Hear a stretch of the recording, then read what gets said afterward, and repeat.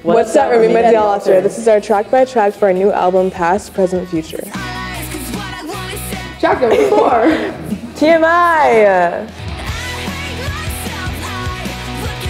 We wrote it with Dan Wilson, and I remember he walked in, and then he was talking about how anxious he was because like we were young and we're like a bunch of girls, and he was saying that you know I was when I was lost trying to find my way here, I was rehearsing what I was gonna say to you when I walked in. Because he was saying how whenever people ask him how he is, he kind of stutters because he doesn't want to give away too much information, but he also doesn't want to like kill the vibe by saying like I'm terrible, you know.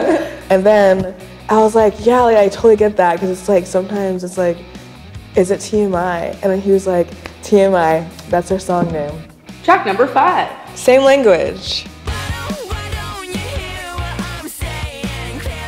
With this record, we made sure that a lot of the topics were up for like interpretation. Mm-hmm. So it could really be about you being in a relationship and you kind of keep going in circles because you're saying you want this, but they're saying that okay, but then they're not actually giving you what you want. So it's like, I don't even feel like we're speaking the same language because you're not understanding what I'm saying to you. So that could be like about anything in your life, really. Track six, A Few Tomorrows.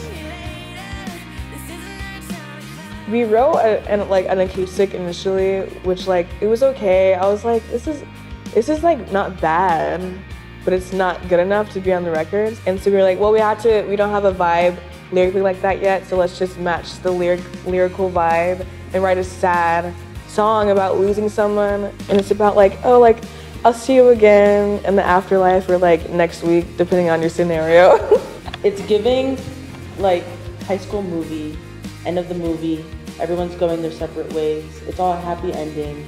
You know what I mean? Track seven is Need Me. It's very pop rock, but more on like the more on the rocky side. And it's just, you know, your cliche breakup song. Mm-hmm. We have to have one.